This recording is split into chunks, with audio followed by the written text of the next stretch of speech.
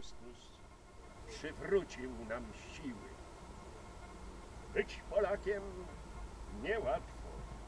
Znów nas osaczyli Żyd i mason. Truciznę sieją nam w sumieniach. Czy dojdziemy do Polski, jak Ty do Chrystusa?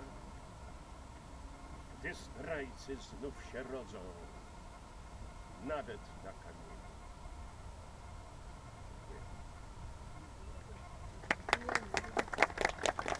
Proszę Państwa, za chwilę przechodzimy do sali. Jeszcze tylko kilka słów o kamieniu. W XIII wieku jest tu wieś kamień. Kamień symbolizuje XIII-wieczną wieś kamień.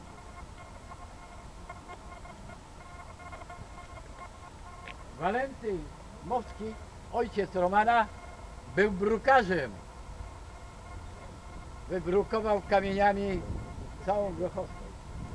Drugi symbol, kamień. Roman Dworski po wielomiesięcznych obradach paryskich składa podpis pod traktatem wersalskim razem z Paderewskim i Władysławem Grabskim, bo tylko oni byli delegatami na kongres. To jest kamień węgielny Wielkiej Polski. Jest tu jeszcze czwarty wymiar tego kamienia. Jesteśmy na tere, terytorium, które nie należy do Unii Europejskiej. To jest wielka, suwerenna Polska. Z woli jej mieszkańców. Kilkanaście młodych dzieci w wieku 15, 12, 17 lat rozdawało ze mną ulotki. 100 tysięcy plakatów nakleili, 100 tysięcy ulotek do ręki wręczyli. Po dwóch dniach referendum, szok w mediach, prasa, telewizja podaje.